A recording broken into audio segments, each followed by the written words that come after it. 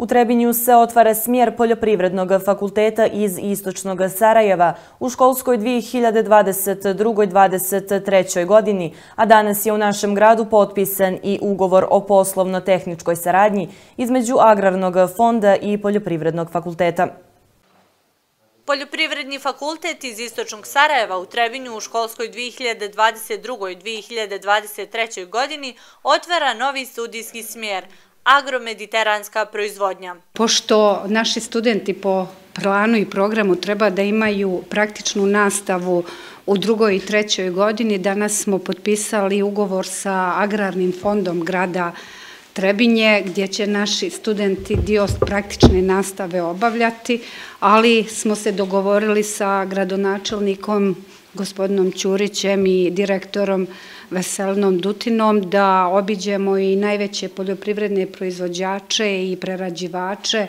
ovog područja gdje će naši studenti dio prakse obavljati. Veselin Dutina, direktor Agrarnog fonda, pojasnio je šta će sve trebinskim studentima Poljoprivrednog fakulteta biti na raspolaganju. Biće na raspolaganju rasadnih agrarnog fonda gdje mi sada već proizvodimo određene vrste sadnica mediteranskog voća i povrća, zatim poljoprivredno dobro gdje se podiže višegodišnji zasad, tačnije vinograd na neka tri hektara,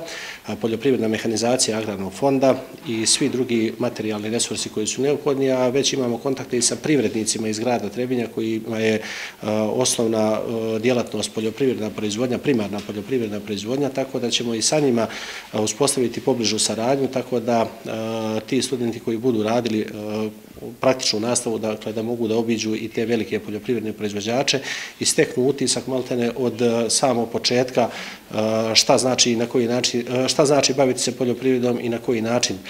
treba da se bave poljoprivredom da bi bili uspješni u svom poslu. Dutina je istakao da su danas dogovorili da se Poljoprivredni fakultet uključi u razvoj agrarnog fonda i poljoprivrede grada Trebinja. Očekujemo u narednom periodu da dobijemo i određene smjernice od strane naučnih lica u kom smjeru treba da se krećemo i u kom smjeru treba da razvijamo poljoprivredu na dobrobit i grada Trebinja i građana svih naših, ali i svih poljoprivrednih proizvođača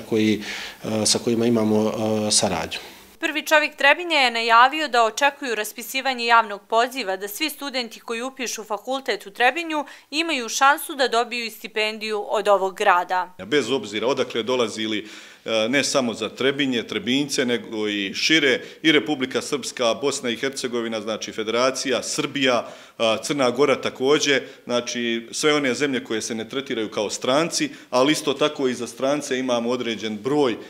koji je izdefinisan da mogu da upišu fakultet, e, čuli ste od dekana koji je to broj, ja se nadam dosta većem broju e, zainteresovanih i u slučaju da bude veći broj zainteresovanih, nadam se upravo da ćemo i dobiti nakrednu saglasnost ako bude neophoda od ministarstva da se svima dozvoli da studiraju u Trebinju. Ćurić je naglasio da je grad Trebinje dobio saglasnost da će vlade Republike Srpske pomoći da se renoviraju prostorije za fakultet do početka školske godine, te da je grad preuzeo obavezu da ako bude nedostajalo bezbjedi sredstva da bi bili što bolji uslovi za buduće studente.